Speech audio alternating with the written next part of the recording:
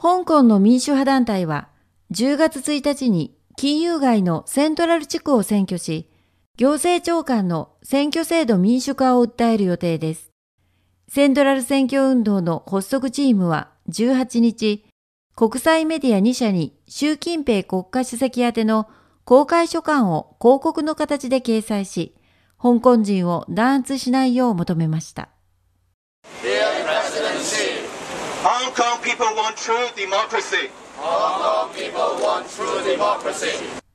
金融街セントラル選挙運動発足チームは、ウォール・ストリート・ジャーナルとニューヨーク・タイムズに紙面4分の1の大きさの広告を出しました。内容は習近平国家主席への公開書簡で、中央政府に香港の基本法に明示されている一国二制度を守り、香港に真の民主を與え、天安門広場でのような弾圧をしないよう促すものでした。我哋個訴求其實就係唔希望香港未來嗰三十三年係冇公平競爭。咁中國共產黨應該要同我哋解釋點解唔俾我哋香港人有真正嘅普選。我哋相信嘅核心價值，言論自由、思想自由、法治，咁一路一路咁樣崩壞。セントラル選挙運動の発足者の一人、千試験さんは、中共当局は香港金融業に影響を与えるとの理由で、ずっとセントラル選挙運動を非難しているが、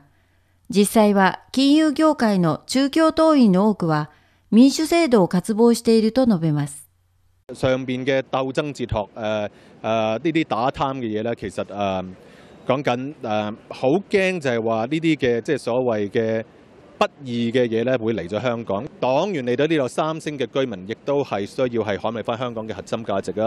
声援に駆けつけた香港公民党の立法議員、梁家傑さんは、セントラル選挙は中共への態度表明であると強調します。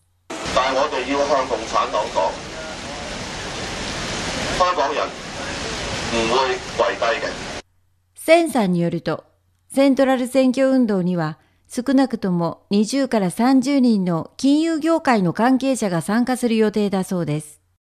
新東人テレビがお伝えしました。